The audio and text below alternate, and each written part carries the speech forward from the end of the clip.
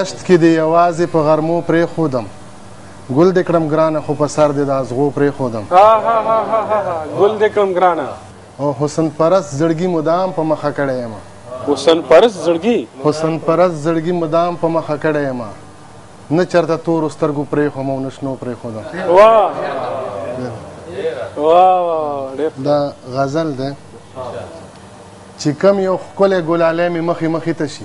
چې کوم یو ښکلی. چې کوم یو ښکلی ګلالی مې مخې مخې ته شي. خپل نازولی خپل لالی مې مخې مخې ته شي.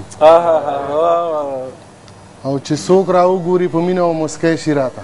چې څوک راوګوري په مینه. چې څوک راوګوري په مینه او مسکی شي راته. څوک را په زړه شي څوک سړی مې مخې مخې ته شي. ډېر ښه ډېر ښه.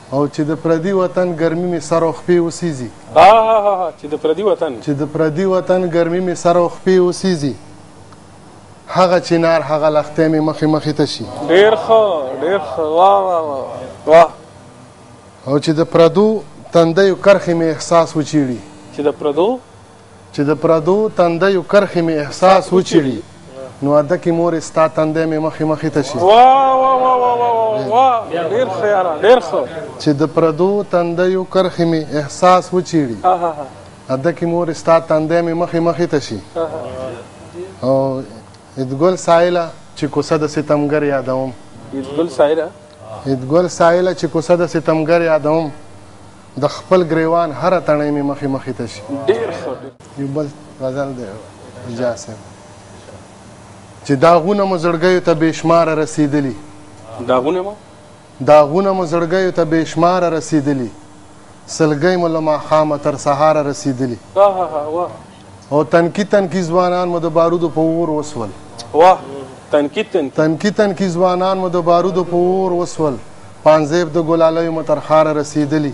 واه ډیر ښه ډیر ښه. او دا نه چي خیسور سوځي او سپین غر مو لمبه کیږي. دا نه چې ښی سور سوځي او سپين غر مو لمبه کېږي، دا تور لوګي دې هم تر کړماره رسېدلي. ډېر ښه، ډېر ښه. او مذهب پښتو غيرت او د ناموس په نامه خرڅ شو. مذهب؟ مذهب پښتو غيرت او د ناموس په نامه خرڅ شو، سرونه مو د مصر تر بازاره رسېدلي. ډېر ښه، واه واه واه واه، ډېر ښه. او موږ اوس هم د ډيلي د شاه په تخت باندې وده يو حسرت صاحب. موږ اوس هم؟ موږ اوس هم د ډيلي د شاه په تخت باندې وده يو. لمبې مو تر نختره تر چناره رسېدلي ډېر ښه یاره ډېر ښه او یو سوړ اسویلی وکړي همیشه دغسې وایي یو سوړ اسویلی وکړي همیشه دغسې وایي عیدګل سایله برخې مو بېکاره رسېدلي ډېر ښه